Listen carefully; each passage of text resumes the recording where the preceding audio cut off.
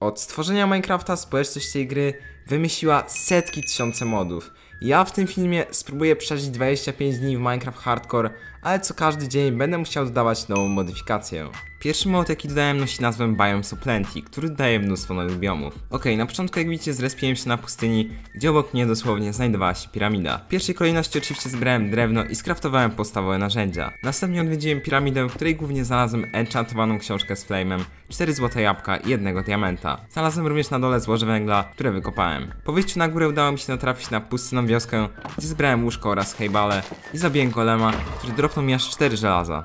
Jakiś czas później koło pustyni natrafiłem na dwa nowe biomy, które prezentowały się naprawdę ładnie. Szczególnie moim zdaniem ten drugi biom, który przedstawia sawannę. Następnie znalazłem jaskinię, do której postanowiłem zejść, jednak kiedy zobaczyłem ilość potworów na dole, od razu postanowiłem wrócić na górę, gdzie została mnie noc, więc postanowiłem przespać się po prostu do rana. Kolejny mod dodało do gry kompas biomów, który pokazywał na jakich kordach znajduje się dany biom. Następnego dnia uznałem w sumie, że warto poszukać miejsca na zbudowanie domku. Po drodze udało mi się znaleźć kolejne ładne biomy oraz cave'a, do którego zszedłem. Na dole oczywiście zrobiłem tarczę i wydobyłem kilkanaście ród żelaza, dzięki którym skraftowałem sobie żelazną klatę i spodenki. W jaskini napotkałem się na opuszczoną kopalnię, w której znalazłem spawner z jaskiniowymi pająkami oraz diamenta, który był tuż obok. W cave'ie podjąłem również decyzję, aby postawić łóżko i pójść spać. Trzeciego dnia wgrałem moda, który pozwalał mi m.in. niszczyć całe drzewa oraz rudy za jednym zamachem. Po udanym śnie w jaskini znalazłem jeszcze parę diamentów, zanim wyszedłem na górę. Na powierzchni wykorzystałem przed chwilą wgranego moda do pofarmienia drewna. Gdy już robiła się noc, udało mi się znaleźć na górze Ruin Portal ze skrzynką, w której głównie znalazłem enchantowany złoty hełm z Respiration 3, dzięki któremu mogłem dłużej przebywać pod wodą. Zanim jeszcze poszedłem spać, skraftowałem sobie żelazne buty oraz hełm, aby mieć całą zbroję w komplecie. Czwartego dnia dodałem moda, który pozwala mi na craftowanie plecaków. Zacząłem więc polowanie na owce i krowy, ponieważ to właśnie skóry i wełny głównie potrzebowałem do stworzenia backpacka. Najpierw stworzyłem mały plecak, a następnie stopniowo ulepszałem go do największego, który posiadał naprawdę mnóstwo miejsca. Pod koniec dnia wreszcie udało mi się znaleźć fajne miejsce na domek. Przed spaniem posadziłem jeszcze zboże. Piąty mod dodała do gry przeróżne rodzaje skrzynek, które cechowały się różnymi właściwościami. Głównie miały po prostu więcej slotów na itemki. Tego dnia postanowiłem rozpocząć budowę domku. Podłogę zrobiłem z czystego drewna, przez co praktycznie pół dnia musiałem je zbierać. Wieczorem jak widzicie, no mój domek niestety nie był zbudowany nawet w połowie. Kolejny mod nosi nazwę Just Enough Items i dzięki niemu po prawej stronie, gdy kliknąłem na dany itemek, wyświetlał mi się jego crafting, co zdecydowanie ułatwiało mi rozgrywkę. Ten dzień cały również zleciał mi na budowie i pod koniec dnia domek zaczął jakoś wyglądać, no ale do końca nadal było jeszcze dużo pracy. Siódmy już mod dodawał do naszej gry kilkadziesiąt nowych zwierząt. Ogólnie przez pół tego dnia w zasadzie zbierałem tylko drewno, aby wreszcie skończyć ten głupi domek i szczerze nie przewidziałem, że na jego budowę będę musiał wyciąć praktycznie cały las wokół mojej bazy. Ósmy mod był naprawdę super, ponieważ dał mnóstwo dziwnych rzeczy, ale najciekawszą z nich była latająca miotła. Ósmego dnia Założę, że w sumie nikt się tego nie spodziewał. Także budowałem domek, ale tym razem na szczęście został prawie skończony. Kolejny mod był naprawdę mocny, bo dawał ogromną ilość nowych zbroi oraz narzędzi. Między innymi mogłem craftować emeraldową, obsydianową czy netherstarową zbroję. Tak, nie przesłyszeliście się, netherstarową. Dziewiątego dnia postanowiłem wybrać się do cave'a na poszukiwanie diamentów. Gdy wyszedłem już na górę, skraftowałem sobie diamentową klatę oraz spodnie. Zrobiłem także żelazną skrzynię, która była zdecydowanie pojemniejsza od zwykłej. Dzięki temu modowi gra pozwalała mi na stworzenie dosłownie lotni. No i oczywiście tego dnia od razu postanowiłem ją skraftować. Powiem wam, że jak dla mnie to działała ona naprawdę super. I miałem następnie w planach, aby zrobić latającą miotłę, lecz niestety nie posiadałem potrzebnych itemów na crafting, więc postanowiłem je od razu zacząć zbierać. Zrobiłem kilo diamentowy po to, aby potem wykopać obsydian i zbudować portal obok mojego domku. W międzyczasie uświadomiłem sobie, że mogę w sumie skraftować kompas do biomów, który dodałem w drugim dniu mojej przygody, więc od razu ruszyłem na poszukiwania itemów. Przy okazji po drodze udało mi się zebrać trochę melonów. 11 mod zwyczajnie do gry dodawał więcej rodzajów płotków i bramek, dzięki którym mogłem tworzyć ładne zagrody.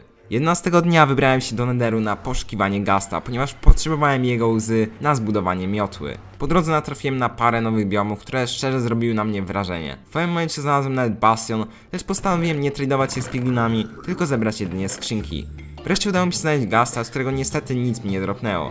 Na szczęście w drodze powrotnej spotkałem jeszcze jednego, z którego tym razem wyleciała łza Gasta. Kolejny mod odpowiadał za generowanie nowych ród w Netherze. 12 dnia zrobiłem kamienne nożyce, tak, dobrze słyszycie, kamienne, aby zniszczyć liście i przygotować miejsce na zagrodę dla krów. Zbudowałem ją z nowych płotków, które dla mnie były ładne. Możecie w sumie napisać, czy wam też się podobają. Tego samego dnia udałem się też do jaskini. Co ciekawe, po drodze spotkałem w wodzie rekiny, no i niestety dowiedziałem się o tym dopiero, kiedy jeden z nich mnie zaatakował. Po rozprawieniu się z nimi otrzymałem ząb z rekina. W kopalni udało mi się zebrać sporą liczbę diamentów, w sumie głównie dzięki kilof z fortuną oraz troszeczkę szczęścia. Gdy wróciłem na swój teren, dokończyłem crafting diamentowej zbroi i położyłem się spać. Zasada działania 13 modu jest bardzo prosta. Pozwala mi on na uderzanie zwierząt czy potworów przez trawę. Szczerze dziwię się czemu takiej rzeczy nie ma jeszcze w Minecrafcie. 13 dnia do mojej zagrody sprawdziłem dwie krowy, dzięki czemu mogłem zacząć je rozmnażać. Potem skraftowałem biom kompas, który pokazywał mi na jakich kordach znajduje się dany biom. Stworzyłem również kowadło i złotą skrzynkę, która miała naprawdę sporo miejsca. Przy zachodzie słońca uznałem, że warto w sumie oświetlić teren wokół domu, ponieważ potrzebowałem zabić fantoma, który respił się m.in. gdy gracz nie spał kilku dni z rzędu. W nocy zebrałem piasek, żeby go następnie przetopić na szkło, a potem wstawić je do mojego domku. Następny mod był bardzo ciekawy, ponieważ pozwala mi on m.in. na widzenie ile głodu uzupełni mi dane jedzonko oraz dzięki niemu mogłem widzieć także efekt saturacji, jakie daje konkretne jedzenie. 14 dnia uznałem, że warto w sumie zbudować komin na moim dachu oraz ostatecznie upiększyć mój domek, który końcowo wyglądał tak. Pod wieczór rozmnożyłem jeszcze krowy, a następnie czekałem na pojawienie się fantoma. W końcu udało mi się go wypatrzeć i po zabiciu go wreszcie posiadałem wszystkie itemy do craftingu latającej miotły. Tym razem zdecydowałem się na dodanie dungeonów do Minecrafta, czyli struktur z jakimiś bossami i lootem w skrzynkach. Tego dnia postanowiłem przetestować nowy item, latając po świecie i szukając nowych biomów. Udało mi się znaleźć biom lawowy z ogromnym wulkanem, który wyglądał naprawdę epicko. Natrafiłem też na tęczowy las, który znalazłem piękną, ciemnoróżową wodę oraz ruin portal ze skrzynką. Następnie, szczerze, z dystansem, bo bałem się o swoje FPS-y, zdecydowałem się na dodanie moda, który aktywował fizykę w Minecraft. Gdy rozpoczął się kolejny dzień, postanowiłem od razu udać się do Netheru, aby wreszcie przejść Minecrafta. W fortecy spotkałem dziwne potwory, które w ręce trzymały enchantowany netherite'owy miecz i siekierę, więc musiałem na nie bardzo uważać. W końcu na szczęście udało mi się je zabić i o dziwo z jednego potwora dropnąłem jego miecz i siekierę, które były naprawdę mocne. Następnie pozabijałem Blaze i udałem się na poszukiwania bastionu. Tym razem uznałem, że warto wgrać moda, który dodaje do naszego Minecrafta po prostu minimapkę. Następnego dnia udało mi się znaleźć bastion. Na początku zebrałem skrzynki, w których m.in. znalazłem dwa enchantowane diamentowe kilofy, jeden z mendingiem, a drugi z silk touchem, rudę netherite'u oraz pojedyncze części diamentowej zbroi. Natknąłem się również w bastionie na rudę emeraldów i dopiero kiedy ją zniszczyłem, uświadomiłem sobie jak tak naprawdę działa Physic Mod. Następnie wykopałem bloki złota i zebrałem się za tradowanie z pielinami. Niestety nie chciały praktycznie dropić pereł, więc trochę się wkurzyłem i wyszedłem wcześniej z nederu, tylko z 8 perełkami. 18 modyfikacja to chyba najbardziej popularny i najprostszy mod na świecie. Mowa tutaj oczywiście o Optifine. 18 dnia skraftowałem zegar, który był mi potrzebny do stworzenia różki czasu. Potem poszedłem wykopać 4 obsydiany na enchant. Gdy już go miałem, zenchantowałem sobie łuk, całą zbroję oraz wykorzystałem wreszcie w koładę książkę z flame'em. Następnie udałem się na poszukiwanie Strongholda. W drodze znalazłem jeszcze żyrafę, która no wyglądała naprawdę przysłodko. Gdy już byłem blisko Strongholda, użyłem różdżki czasu, która od razu zmieniła porę dnia. Następny mod nosił nazwę Waystones i pozwalał on tworzyć portale między dwoma różnymi miejscami. Kolejnego dnia skopałem się na dół do Strongholda. Kiedy go zwiedzałem, znalazłem skrzynkę, w której była jedna perełka. Wiedziałem, że i tak mi ich nie starczy, więc kiedy znalazłem portal room, Położyłem tyle oczu kresu ile miałem i ruszyłem szukać Endermanów. W końcu znalazłem jednego i na moje szczęście miałem na mieczu looting i za jednym razem mi padły dwie perełki. 20 modyfikacja, którą wgrałem jest już dosyć stara, a chodzi tutaj o wszystkim znane Lucky Bloki. 20 dnia wszedłem do Endu. Oczywiście standardowo poniszczyłem kryształy i zacząłem walkę ze smokiem. Gdy go pokonałem udałem się do NCT po Elytrę. Po drodze przy okazji znalazłem pierwszego Lucky Bloka, którego zrespiły się pieski. Po chwili znalazłem też NCT, w którym udało mi się znaleźć naprawdę kozackie itemy. Niestety na moje nieszczęście nie zrespił się statek z Elytrą i szczerze, no nie chciało mi się szukać kolejnego NCT, więc po prostu wróciłem do Overworldu. Następny mod to był po prostu zwykły boost FPS-ów, ponieważ pod koniec zamierzałem grać naprawdę coś mocnego i ten mod był mi potrzebny.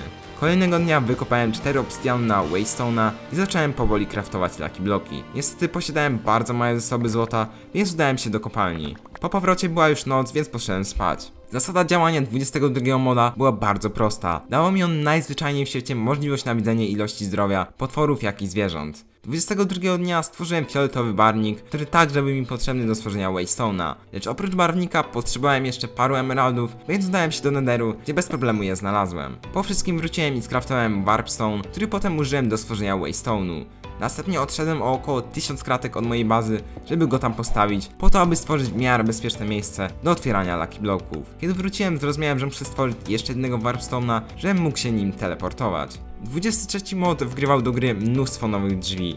Ja postanowiłem stworzyć akurat szklane drzwi, które moim zdaniem naprawdę ładnie prezentowały się na tle mojego domku. Następnie skraftowałem kolejne Lucky Bloki oraz postanowiłem wykopać także 5 obsydianu, aby stworzyć obsydianowy hełm. Oczywiście zenchantowałem go i teleportowałem się na teren, gdzie zamierzałem otwierać Lucky Bloki. Z pierwszego pojawił się Killer Bunny, który miał za zadanie zabić mnie na hita w razie gdybym go uderzył. Na szczęście miałem granego moda na pokazywanie informacji o danym mobie, bo tak to ten odcinek skończyłby się trochę wcześniej. Po otwarciu wszystkich Lucky Bloków zrobiłem taką szybką analizę i okazało się, że jakieś 3 piąte próbowało mnie zabić, jedna piąta to był jakiś totalny syf, a reszta to były jakieś po prostu unikatowe itemki. Przedostatni mod był naprawdę mocny, dodawał nowe rodzaje TNT.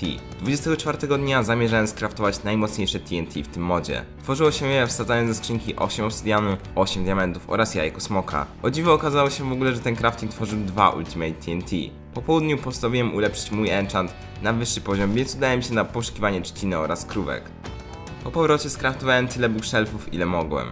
Następnie próbowałem zenchantować klatę na jakieś fajne enchanty, ale niestety nic z tego. Ostatni mod wgrywał do gry nowe typy łuków. Na początku 25 dnia skraftowałem emeraldowy łuk oraz złoty, który od razu miał na sobie naniesiony enchant Infinity, czyli dzięki niemu mogłem po prostu strzelać w nieskończoność i nie tracić żadnych strzał. Zanim jeszcze wyruszyłem na poszukiwania dungeonów, zenchantowałem obydwa łuki na Power 2. Wreszcie udało mi się znaleźć jeden z dungeonów, który przedstawiał zamek, a król był jego bossem. Postanowiłem więc od razu podbudować się do góry i postawić dwa Ultimate TNT i je odpalić. Oczywiście od razu rzuciłem dwie perły, które jak widzicie ewidentnie nie wystarczyły. Po naprawdę długim lagu zamek był doszczętnie zniszczony, jednakże o dziwo boss nadal żył. Podszedłem do niego i powiedzmy, że zacząłem z nim walczyć, w sumie głównie strzelając tylko na odległość. Gdy go pokonałem, otrzymałem z niego specjalną motykę Lootingiem 5.